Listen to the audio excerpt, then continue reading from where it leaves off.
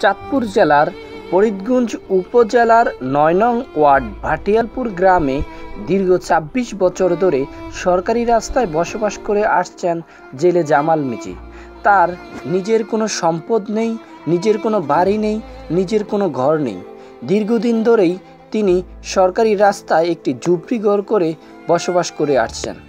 জানা যায়, জামাল মিজির বাবা গত ২৬ বছর আগে ঋণের টাকা পরিশোধ করার জন্য তাদের সকল সম্পদ বিক্রি করে দেন।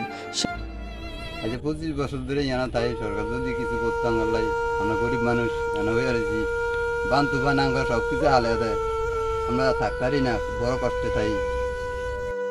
মায়ের, মায়েরারে পড়ালেখা করাইতারি না, কত কষ্ট না তাই।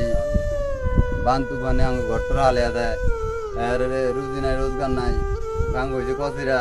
এমনি আমরা রুজি টুজি করতারি না।